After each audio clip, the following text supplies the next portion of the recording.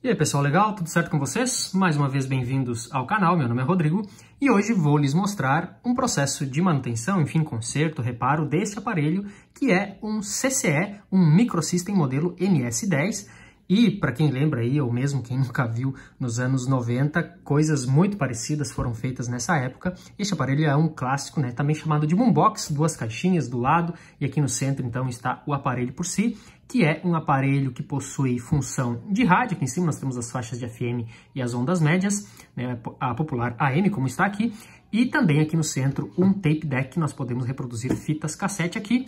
Este aparelho ele está num estado muito, muito bom, inclusive ele é um aparelho que nós podemos destacar essas caixas da lateral, nós podemos é, simplesmente retirá-las daqui e levar mais a distante, afinal ela possui alguns conectores aqui na parte de trás, veja esse conector, é um conector que nós podemos é, remover daqui, certo? É um conector do tipo P2, ok?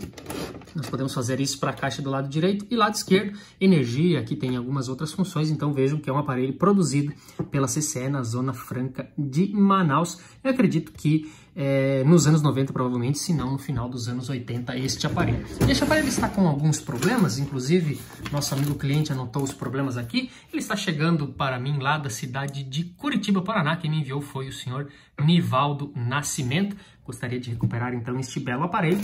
Ele fez algumas anotações aqui, é, mau funcionamento no rádio é, FM, alguns estalos no alto-falante. Ele está com mau funcionamento também no tape, né, nas fitas cassete. Parece que ele está dando um problema, um ruído muito forte quando ele funciona, aquece, ou problema na correia, enfim, nos cabeçotes. Ele mandou um outro aparelho aqui para é, retirar peças se necessário. Aquele aparelho que está ali atrás, inclusive, me enviou também é, o amigo Nivaldo para nós retirarmos peças caso necessário.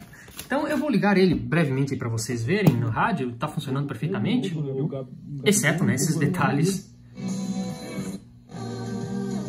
Porque dele vem a nossa luz.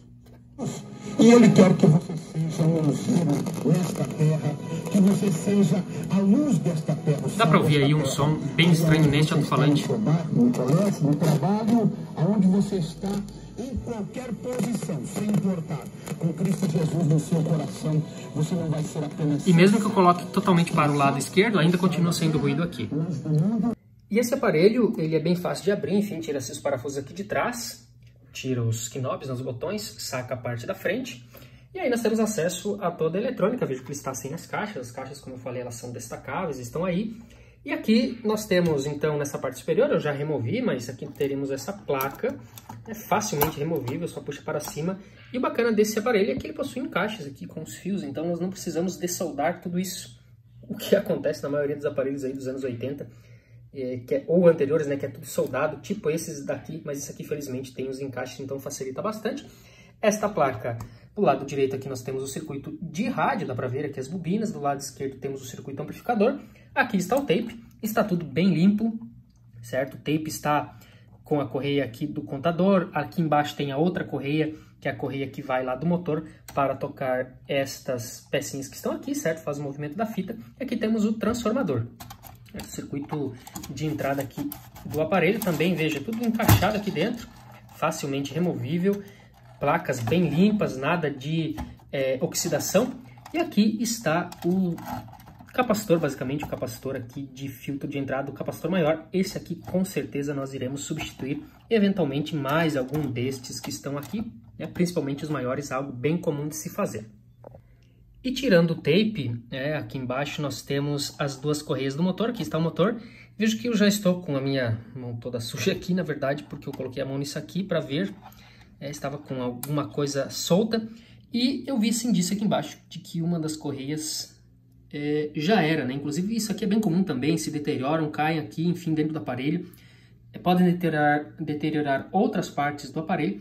E nesse caso aqui elas ficaram depositadas aqui no fundo e elas vão com o tempo se desfazendo, né? Ok? E aí causa esse tipo de problema. E provavelmente esse aparelho já deve ter sido substituído, porque essas correias que estão aqui, elas são novas. Inclusive, posso ver que são duas aqui embaixo, dá para ver dois eixos aqui no motor.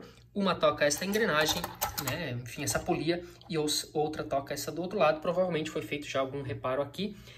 E o reparo num aparelho como este, basicamente consiste em uma boa limpeza, aplicar limpa-contato dentro dos potenciômetros. Eles não estavam muito sujos, então é bem fácil aplicar limpa-contato aqui por baixo, né?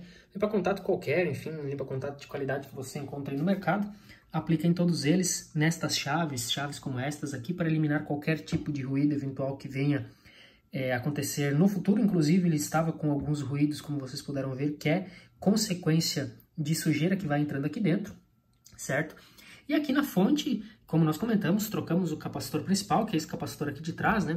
Este azul maior que estava aqui, um capacitor de 2200 micros, e acabamos, uh, acabamos trocando um outro que ficava aqui, certo? Este cara aqui, ele fica no circuito de áudio, porque o circuito de áudio, uma parte dele fica nessa pequena plaquinha, inclusive temos um conector aqui, então é necessário trocar alguns nesse aparelho, felizmente é, somente alguns estavam danificados, nesse caso somente dois. Também limpamos todo esse conjunto mecânico, né, que é responsável pelo toca-fitas. Ele não estava muito sujo, sujo exceto aquele monte de é, depósito de material das correias que acabaram se depositando aqui embaixo, então foi necessário também dar uma limpada. Lavamos os gabinetes, né, os gabinetes também estavam com um pouco de sujeira. Enfim, fica muito, muito limpo e depois é, quando a gente montar, vocês vão ver, fica bem bacana também a parte da frente. E aqui temos uma das caixinhas desmontada para vocês verem. Às vezes a gente deixa elas, de lado, né? Mas elas precisam ser limpas também. Veja como está ali dentro, muito sujo, inclusive muito mais sujo do que o próprio aparelho, porque aquelas aletas ali atrás permite é, a entrada de mais pó. Vejam como que fica o alto-falante. Inclusive, neste alto-falante tem, vejam, alto-falante de 3.2 ohms, não é tão comum, né? Temos uma data aqui, agosto de 85, certamente esta é a época em que este aparelho foi montado, enfim, fabricado.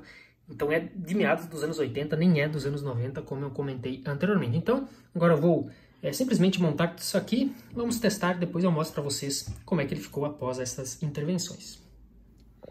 E aqui está então o aparelho, pessoal, que vocês puderam acompanhar um pouco do trabalho de revisão, coisas bem básicas de se fazer no aparelho antigo como este, é um aparelho que tem quase 40 anos, e este aparelho está impecável e, embora ele está num estado muito bom, ele estava sujo, como todo aparelho dessa idade, até não estava tão sujo quanto a grande maioria dos aparelhos que eu recebo.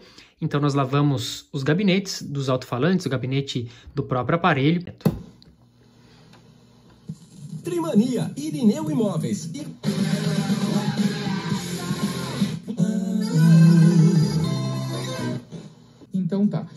Acontecendo a legítima defesa, né, o que é importante destacar é que se você atu, é, é, é, cometeu, é, é, se utilizou de algum elemento para é, a proteção de alguém ou sua, né, uhum.